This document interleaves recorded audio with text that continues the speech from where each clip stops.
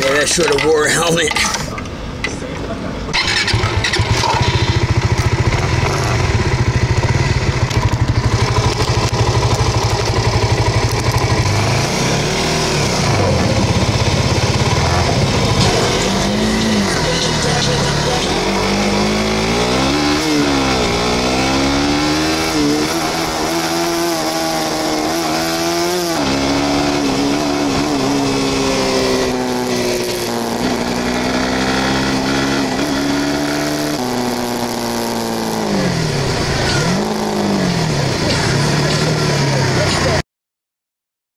Yesterday, I was riding the bike and I went into the same groove, and the same thing happened to me yesterday, although I was able to get out of the groove. And I didn't I didn't think that like today I would get stuck in the same fucking groove. It's like you might find it stupid as shit, but yeah, the fucking bike landed on my leg, my fucking arm. Two people had to fucking get the bike off of me.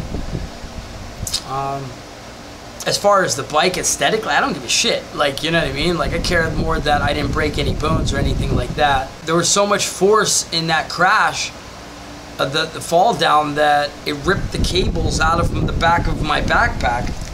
Literally ripped the cables out. Like, I have, um, I have these twist ties that keep it, like, and these twist ties, like, literally just rip the fuck off with the force of the of that crash. So uh, I'm just thankful that I'm okay. I think I'm okay. I mean, yeah, there's definitely pain inside, but it, I didn't break anything. So that's the, the most important thing is I didn't break anything. Ah, fuck. I'll show you the bike in a minute. Yeah, man, there's definitely some type of pain on the inside. I don't know, maybe a ligament or a tendon or some shit. I feel like I have strength in there, just pain. I would have been really, really upset if, like, you know, I got into an accident. Luckily for me, it was just me crashing into the ground. So, ground zero, bike, me none. I got fucked up by the ground. The split second shit that I was able to do when the bike was falling down was kind of like just I, I don't even know what you would call it um, like uh, natural instinct or whatever. Like as soon as the bike was going down my first thought was just push that motherfucker off me so that way it doesn't crush my leg.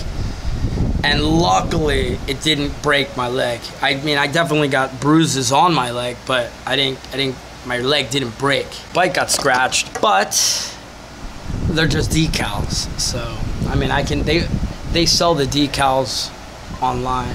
So there scratched it all up on the side right there. But this is just one big sticker.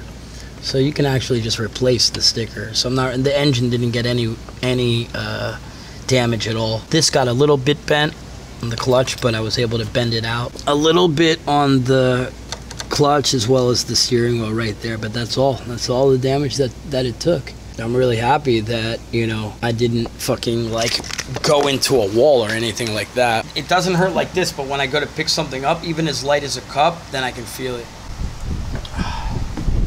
Yeah, it's just the muscles inside. Basically, it was a ditch, shallow hole that was about like, I don't know, five meters long. Just a straight, just a straight, like kind of half tube in the ground and when I was churning, my tire went inside, and then I couldn't churn out of it. Like basically, it was the perfect size for my tire. I'm just happy that I didn't break any bones. And I guess now, thinking about it, I'm glad that I didn't buy an expensive bike. Because if I would have laid down an expensive bike, I would have been really fucking pissed. So I didn't even get into a accident with another car. I just got into an accident with like the way that the street is. But once again, luckily I'm safe. Two guys came up to help me pick up the bike off my leg. Um, so shout out to them. It's crazy that the force of the the force of the fall ripped all the cable ties off my backpack. Everything was just nuts. I don't even know if there was a clip. There wasn't a clip because I had the camera pointed downwards. When you're wearing a helmet, yeah, I was wearing a helmet. I have a helmet. My helmet's right here. Fucking helmet's right there, Shoei.